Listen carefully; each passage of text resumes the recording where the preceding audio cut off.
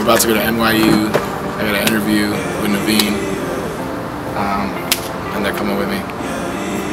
So let's do it. And they're coming with me. They're coming with me. it's my gang. Don't my even squad. think about it. No, no, no. So much shit up on my mind. I think I might have a drink about it. No, no, no. Scrolling through your pictures on my phone until the break of dawn. Dawn. Break of dawn. Dawn. I roll up to the party, smell like marijuana. I just see your shoulder, straight from California. Walking rap and I sing a little bit. Um, and uh, I produce, I mix, I master.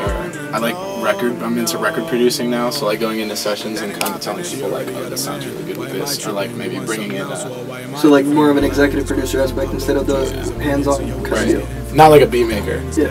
Like the, cause that's like I think producing, you know, incorporates all that stuff. But then there's like the person who makes the beat, and there's a person who like says, oh, you know who would sound good on this, or like, oh, you Or oh, know what like, oh, I know what sample would make this really pop or something like that. Right. Where you have the ideas and you're bringing it together because you can hear what's in there in your head. You just want them to like see what's up, what you're hearing. Till the break of dawn. Dawn. Until the break of dawn. Dawn.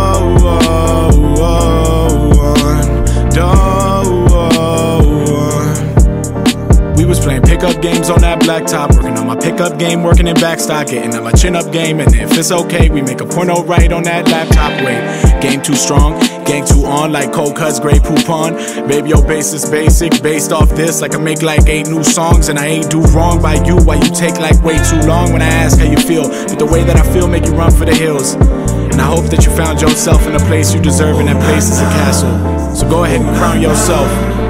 Ooh, nah, nah. Me ask you. If I jump, would you jump too? I can't